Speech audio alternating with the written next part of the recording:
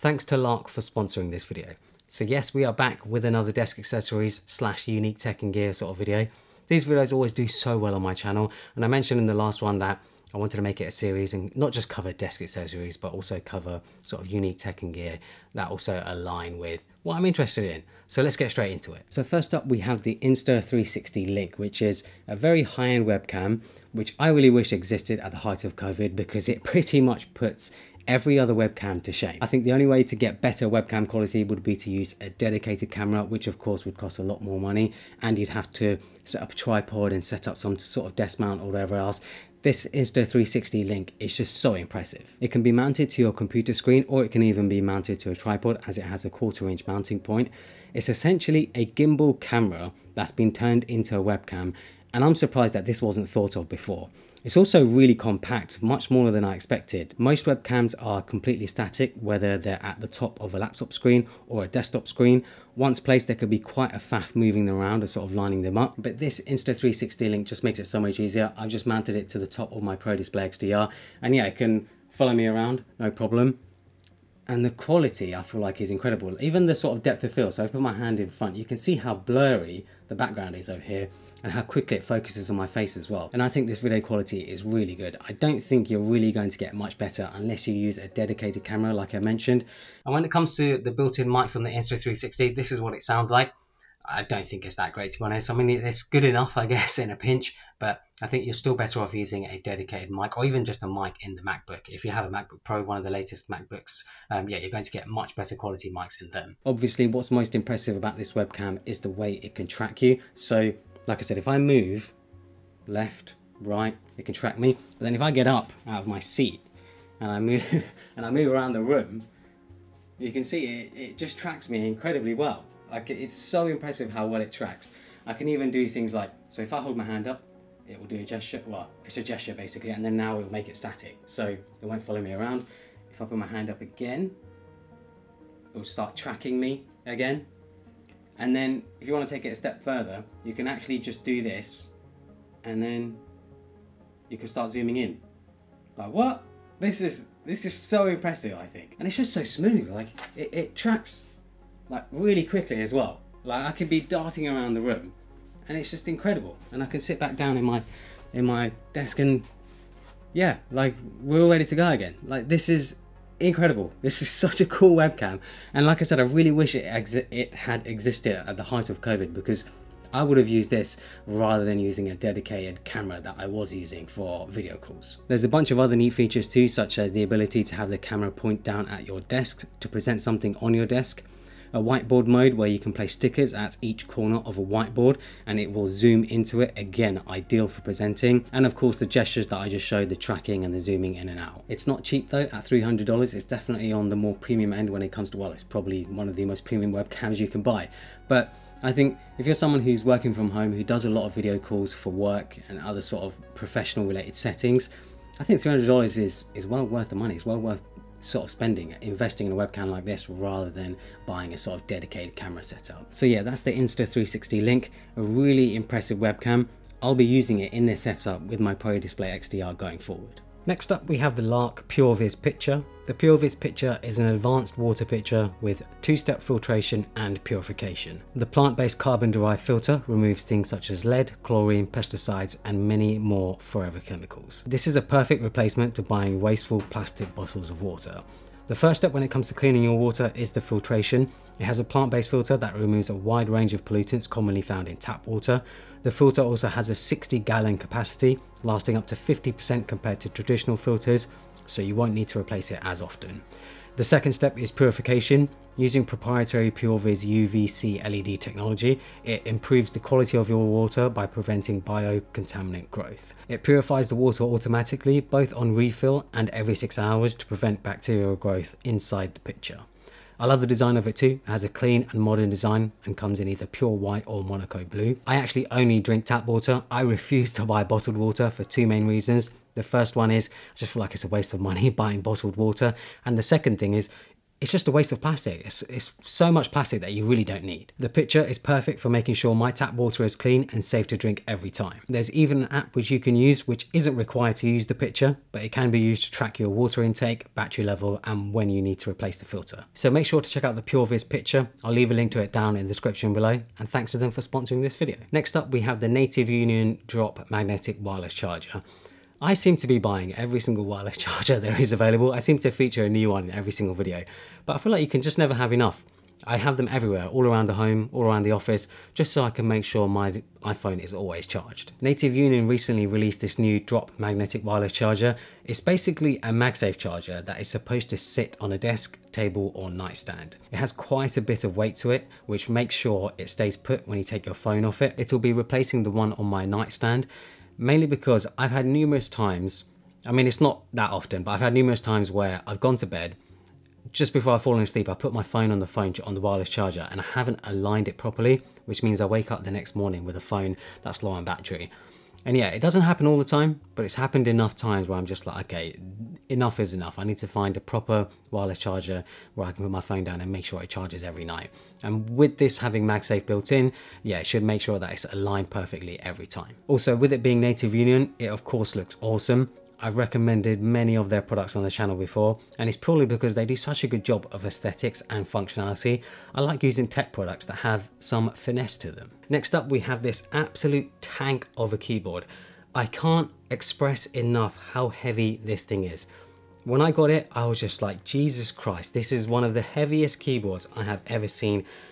Honestly, you could actually kill someone. You could do bicep curls with this. Like, like I could do actual bicep curls with this. This is ridiculously heavy. this is one of the most insane keyboards. I featured the 65 from Mode before, but yeah, this is the new Sonnet um, or Sonnet. I don't know exactly how it's how it's said, but yeah, this is one of their new keyboards. It's a 75% layout and it is incredible. Mode really know how to make their keyboards and I just feel like this is an absolute weapon. For perspective, the Magic keyboard weighs 230 grams. The Mode 65 weighs 1280 grams, the one that I have, and this Sonnet weighs 3,120 grams. So it is an absurdly heavy keyboard. Every keyboard is made to order. When you go on the website to order your own, you're put through a customization screen where you can choose things such as color and materials of the case, as well as accent colors and whether you'd like to add internal foam and much, much more. Mine has the black aluminium top case, the brass accent in the top case, a brass bottom case, a brass wave pattern internal weight, as well as a silicone base to deaden the sound. The switches I have in these are the Gateron Oil King switches. Now they're not the most quietest. I don't think it's as quiet as my 65, but it's still fairly quiet. And it's because I personally just like quiet keyboards. I actually can't stand loud keyboards, especially because I work in an office environment, I work at home, I have people around me. I don't want a loud keyboard distracting everyone. I also hate hearing other loud keyboards being distracting. So I actually prefer my keyboards to be very quiet, very muted in sound. It's why I also had the foam inside this one as well. This is a seriously impressive keyboard.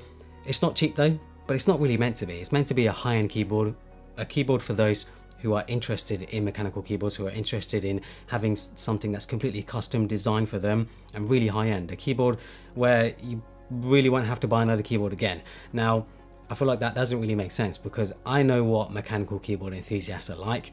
You don't just have one keyboard, you have 10. so yeah, um, if you are looking for the one keyboard that sort of does it all, I think this is definitely one to look at. I really like the 75% layout on this. I think the 75% layout is actually my favorite layout. I much prefer it over all the other layouts because I like having the function of keys. I actually use them quite a lot and I don't want to have to be messing around with holding down FN and then hitting a number button to get a, a function button. So yeah, the Mode Sonnet, absolutely incredible keyboard. I highly recommend checking it out.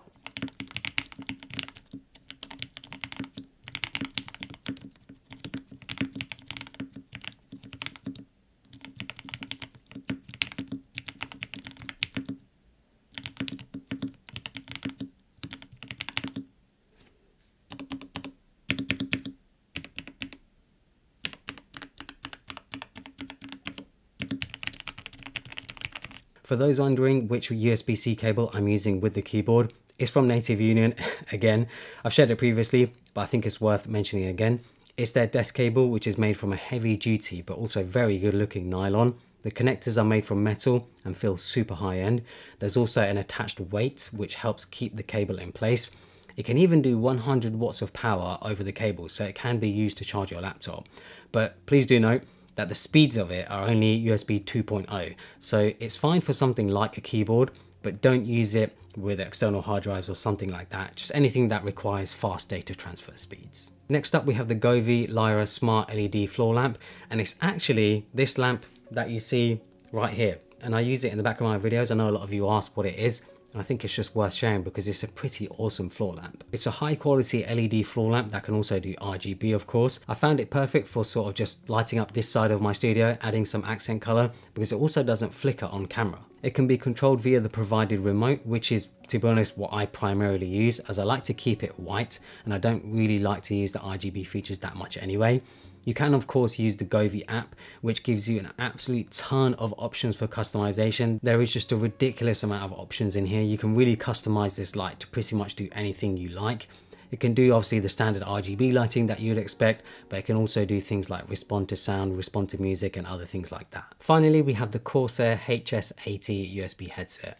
So I've been using the PlayStation Pulse headset for quite a while now for my PS5 and my PC, but the mic quality on it isn't really that great. So I ended up coming across a few reviews online, ended up coming across this, the HS80, and the mic quality on this is incredible. This is what the actual mic quality sounds like. This is what's coming out of this little thing here. I was blown away. Like the mic quality on this is fantastic. Unless you're absolutely set on having super high quality mic audio, I think this is more than good enough for things like in-game chat, Discord, and even streaming. To be honest, unless you're streaming as your job, I don't see what the point is in getting an external mic. This will do the job. I do think though that the audio quality from the headset itself is just pretty average. I'm no audiophile, but I do feel like it lacks range, especially in the low end, and it seems as though other reviews also agree. There is just a bass sort of lacking in the headset. I mainly use it for FPS games such as Apex, and luckily the bass doesn't actually matter too much for games like that. The design is also pretty minimal, especially in the black that I have here. I like how it doesn't look sort of overly gamery. The logo also lights up and can be set to pretty much any color you like. But what I really like is how the mic arm itself can actually just be moved up to mute the microphone and then you'll see a sort of red LED showing that it's muted and then you can bring it back down and you're back with the microphone on again. A really quick and easy way to mute and unmute yourself without having to mess around any buttons on the headset or on your piece or anything. Just simply move the mic up and down. Really easy. There's a volume dial on the headset itself for quick adjustment. The foam ear pads are also very, very comfortable, especially for long gaming sessions. I use it anywhere between one to four hours at a time and I don't have any issues at all. I find it very comfortable. It's become my main gaming headset now. I love it that much. And this is the wired version, but they do also do a wireless version and the wireless version actually has come down in price. I prefer the wired version anyway, just because I don't really want to have to charge it regularly.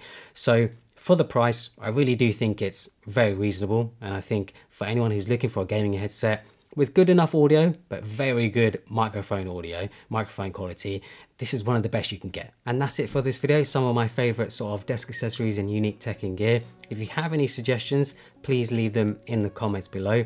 I'll leave links to obviously everything that I've mentioned in the video. Hopefully you guys enjoyed it. Follow me on Instagram and Twitter and subscribe for more.